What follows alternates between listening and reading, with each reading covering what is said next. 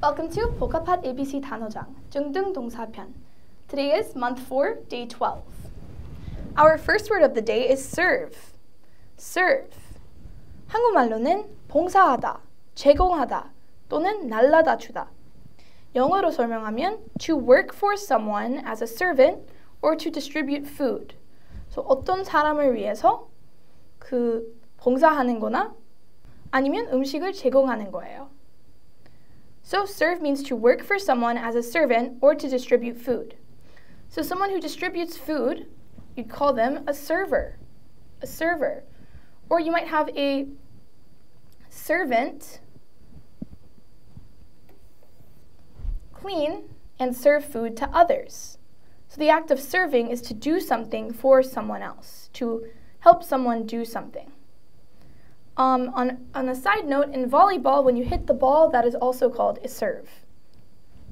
serve랑 비슷한 말은 work for. work for. 그 어떤 걸 위해서 일하는 거예요. 어떤 사람을 위해서, 어떤 회사를 위해서. help, aid, assist. 다 도와주는 말이에요. So you might help someone do something. You might help a household. You might serve a household. So I served the soup to the guests. 그 방문하는 사람들에게 탕을 제공했습니다. I gave it, I served it to each guest. The next word is shoot, past tense, shot. 한국말로는 쏘다 또는 발사하다. 영어로, 영어로 설명하면 to discharge or fire. To discharge or fire. So that means to discharge is 그 쏘다 그 어떤 거를 빠르게 나가는 거고 막 나가게 하는 거고 or fire 발사하다 is to make something using 보통 using fire shooting something out of something else 예를 들어 you might fire a gun you might shoot a gun you might discharge a bullet from a gun so most of the time when we talk about shoot, we're talking about guns.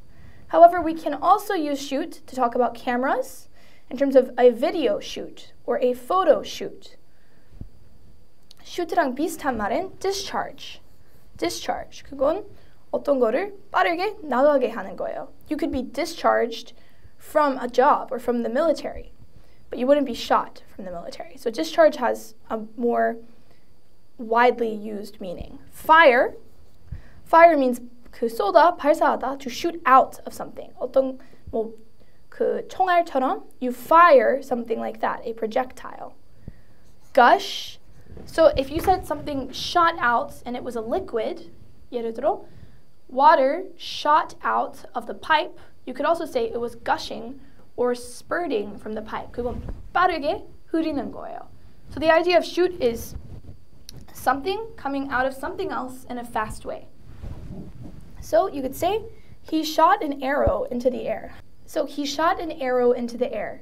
그 사람이 권중으로 화살을 발사했습니다. 쏘았습니다. So he shot an arrow into the air. The next word is shriek. shriek. 한국말로는 비명을 지르다. 날카로운 소리로 말하다. 비명. So 영어로 설명하면 to utter a loud, sharp, shrill cry. utter 말하다, loud 시끄러운, sharp 날카로운, shrill 그 높은 높은 cry 뭐 소리 소리를. So it means to scream 소리 지르는 거 in a high pitched voice. 예를 들어 오페라 가면 shriek 들을 수도 있다. 아니면 무서우면 shriek 나을 수도 있다. So when someone shrieks, they're screaming in a high-pitched voice. So shriek이랑 비슷한 말은 scream, scream, 소리 지르는 거예요. 또는 screech, screech는 약간 조금 더 동물이랑 어, 비슷한 거예요. 예를 들어, an owl might screech, an owl might shriek. But Shriek, shriek and screech can also be used with people. So, if you were to talk about someone shrieking, You could say they're screaming in a high pitched voice or they're screeching. So, if we were to use shriek in a sentence, we could say she shrieked whenever she saw a spider. 그 사람이 그 거미를 볼 때마다 날카로운 소리로 소리를 지렀다. 소리를 지, 지렀다. Yeah. 그 사람이 거미 거미 볼 때마다 날카롭게 소리를 지렀다. She screamed in a high pitched voice whenever she saw a spider. She shrieked. The next word is sightsee. sightsee. 한국말로는 관광하다, 관광하다. 영어로 설명하면 to visit, 방문하다, famous or interesting sites. So it means to visit famous or interesting sites. visit, 방문하다, 유명하거나 재밌는 관광지를 방문하는 거예요. To visit famous or interesting sites. So often you might see people sightsee via a tour bus. A tour bus. So 관광버스로 그 관광을 하다. They sightsee on a tour bus. You might go sightsee a statue. You might go to a new city to sightsee what's around.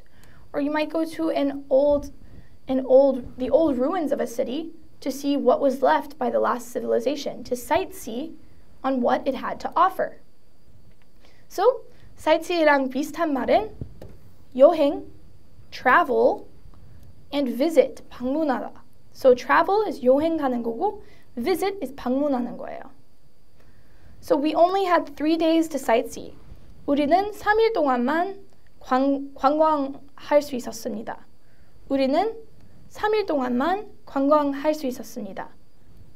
So they only had three days, no more than three days, to sightsee, to look around at the famous or interesting sites.